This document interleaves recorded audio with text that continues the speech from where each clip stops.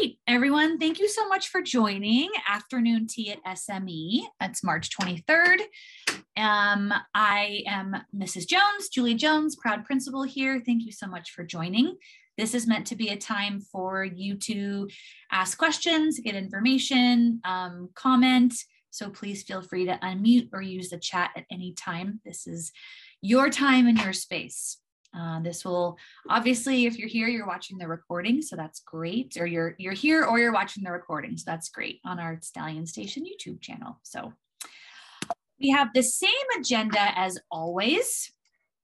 What's happening here? Some health and safety updates, and then just making sure that everyone knows how to get involved and stay connected so much fun stuff to share. So many fun updates. Um, it's lots of great pictures too. So getting right into it uh, as many of you know we are in the midst of a big service learning project.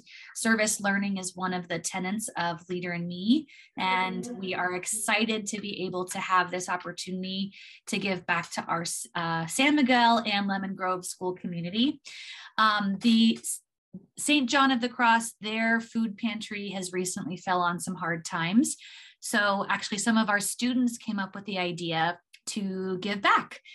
And it's a wonderful opportunity for kids to contribute and find their voice, but there's also some currency attached. Um, the grade level that donates the most non perishable food items will have a zone free recess for a whole week. And in the life of an elementary schooler who's at the end of a pandemic, not having to be in a zone with your classmates for recess for a whole week is a really big deal. So, honestly, I think we are well over 3,000 items delivered to the school to give back to the community. So, so exciting.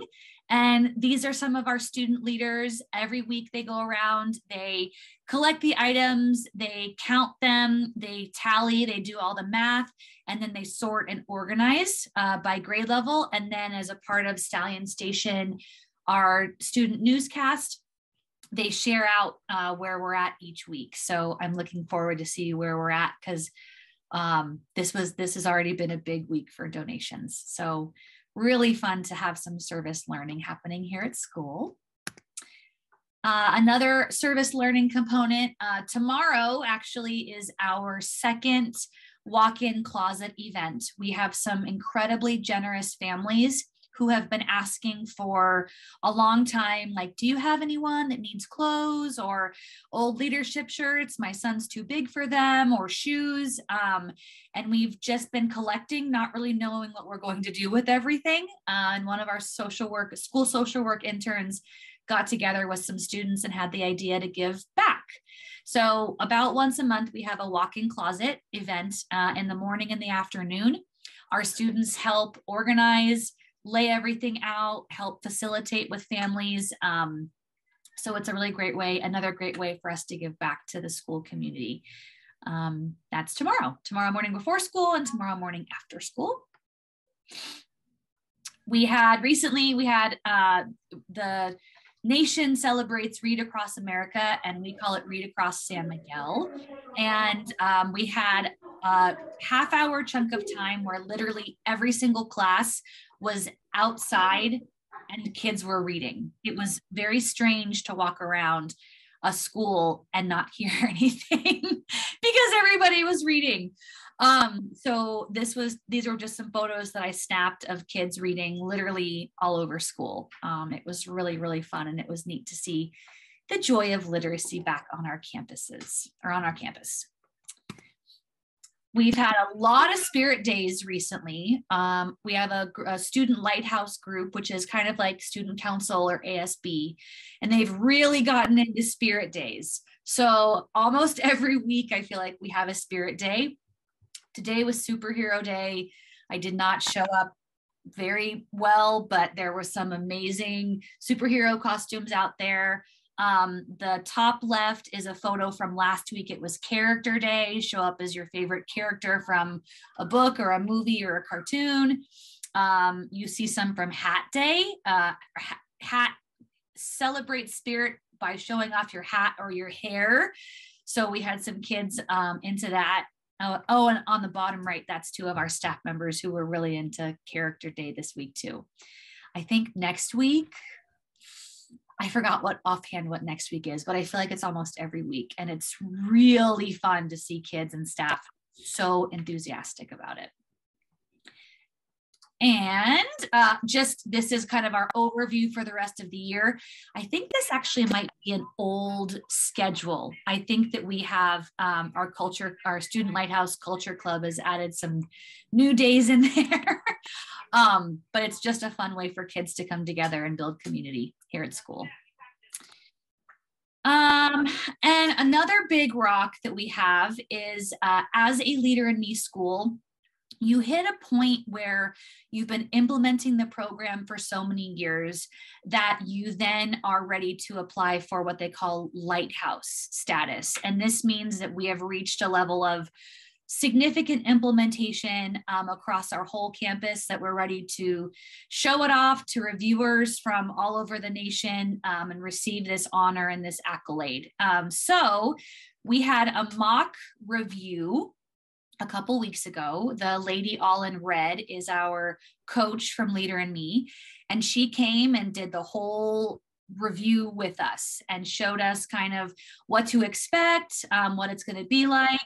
And this was a lot of preparing students. There was not a lot of adult talk. So, what you see in these photos um, is an example of our students finding their voice as leaders. Um, I did very little talk.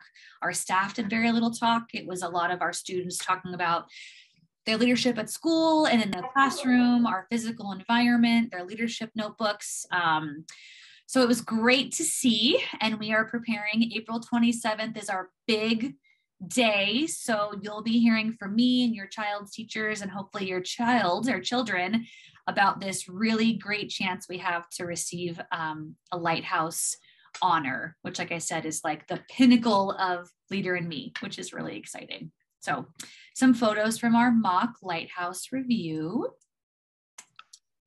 Um, and those are that's kind of those are the big things that we've had going on in terms of kind of things to show off. Um, always want to make sure people know about health and safety updates. This really has, I was looking back through my, the afternoon uh, Tea at SME slides over the year and the amount of health and safety slides has just gotten smaller and smaller and smaller, which is so great. And the school events has gotten larger and larger and larger, which is great. Um, so just the big updates, um, if you haven't heard, our facial coverings are optional for uh, staff and students while they're indoors and outdoors now. I would say we really probably have about a 50-50 split of students still wearing masks, staff still wearing masks, uh, inside and outside, and students and staff choosing not to. And I've really just been so proud that there's been it's just not been a big deal. Everyone just has gone with it. Um, I hear a lot of teachers and students using the phrase like your mask, your choice, your mask, your choice. Um, but I've heard at some other campuses, there's been a little bit harder of a transition for some students in terms of feeling left out or feeling different in either direction. And I just can say it's been wonderful to see we just keep it moving. Like it's just no big deal one way or the other, which is just speaks to our leaders here on campus. But uh, separate from that, all of our other health and safety protocols are still in place. The school board um, will be meeting at the beginning of April to again discuss the visitor and volunteer policy. I do anticipate some changes then, um, which means we may be able to welcome families back onto campus as visitors or volunteers. So more to come definitely but we're uh, we were just in a staff meeting and talking about how great that will be to be able to have our families on campus with us. Um, we are planning for an in-person open house. We are planning for an in-person leadership day uh, in-person sixth grade promotion. Um, but just waiting on that key piece of the school board to weigh in on that policy. So more to come. And um, it's uh, the last bullet on here, it's not a new COVID testing company. It's new from the beginning of the year, but not new in the last month or so. Uh, but we do have free COVID testing for staff and students every week here on campus. Um, we still have quite a few folks participating in it, which is great. As with the county um, and the state, our numbers have dwindled uh, dramatically, which is wonderful, but it is still a health and safety protocol that we have available for everybody or for staff and students while they're here. And just making sure everyone knows we've got some big rocks coming up. That's a phrase that we use here uh, uh, related to Leader in Me. And we talk about you get your big rocks done first, the things that you have to get done. And once you put all those big rocks in there in that jar, there's always room for the small little ones to trickle in. So, but our big rocks coming up, we're doing our monthly leadership award video Friday. It is still going to be a video at this point. We're not ready to have uh, possibly an assembly yet because we're waiting on that updated visitor and volunteer policy to be released. So leadership award video on, on our YouTube channel Friday. We are excited to welcome Scholastic back for our book fair, which is all week next week. Classes will have two chances to visit the book fair. The first one will be just to preview it, to see what's there, talk about what they might want to get, talk to their parents about, and then they'll come back a second time later in the week and actually uh, be able to collect the items that they've purchased. Everything, it's all cashless, um, which is a lot easier for families. It's an e wallet process um, and program. We've sent things out. We actually have a huge stack of flyers to go home again tomorrow with the e wallet um, process of how to sign up for that. But kids are so, so, so, so excited about it. So, Scholastic Book Fair next week. Also, next week is Spring Picture Day. Um, this is separate from Fall Picture Day in the sense that we won't have, um, you know, we won't be releasing or we won't become uh, creating a, a, class composite but if students didn't like their fall picture or missed a fall picture or just want a whole new picture, we have Spring Picture Day available on Friday. Um, all classes will have a chance to go. And then parents or family adults at home have the choice whether or not they want to buy the spring picture. And then I can't even believe I'm saying this, but spring break, uh, April 11th through 22nd. Um, it's a full two weeks where we will have no school state testing. Again, I can't believe I'm saying this, but state testing um, in April and May. Lots of information to come out um, to our third through sixth grade families, but we are intending on a standard kind of state testing protocol where we have a schedule, it's in the morning, um, and families will know kind of how to prepare their kiddos for that. Like I mentioned before, a couple slides ago, we are preparing for our Lighthouse review, April 27th. Our campus will be looking amazing, so we might as well do open house on the same night. That is going to be in person, unless there's some dramatic change in the next, you know, several weeks, which I can't imagine that there would be. Um, we are, are planning for an in-person open house. So in the evening, we haven't nailed the time down yet, but it will probably be 5:30 to 7. Um, so looking forward to have people in our classrooms and on our campus. Really excited about that.